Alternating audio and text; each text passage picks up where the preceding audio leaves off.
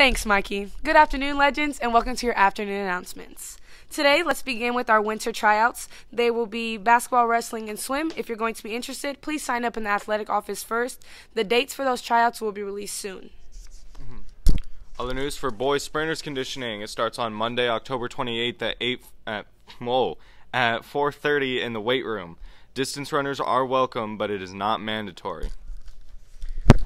Today is the last day to view The Wizard of Oz play. It will be at 7 p.m. Well, musical.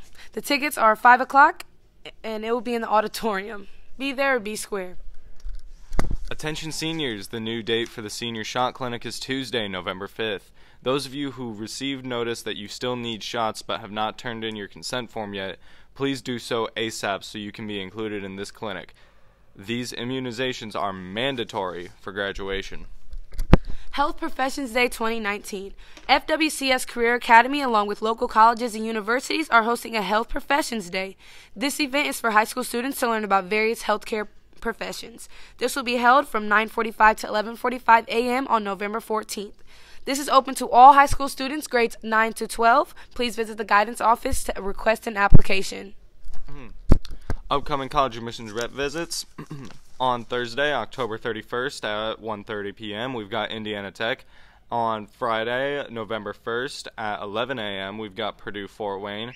On Tuesday, November 5th at 11 a.m. We've got Grace College, and finally Wednesday, November 6th at 1:30 p.m. We've got Grand Valley State University. Juniors and seniors only. Please visit the guidance department to sign up.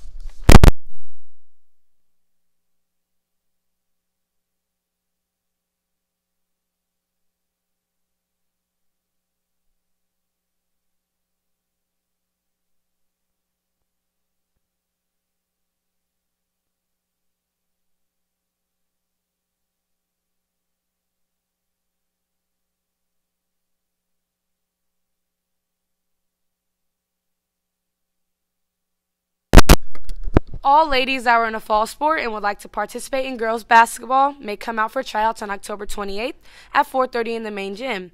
This is also open to anyone who missed tryouts on the 21st and 22nd.